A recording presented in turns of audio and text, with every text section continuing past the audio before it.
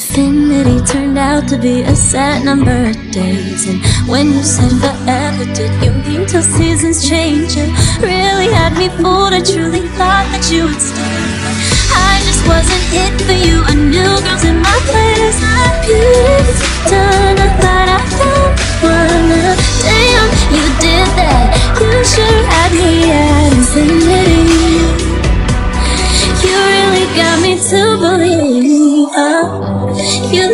Got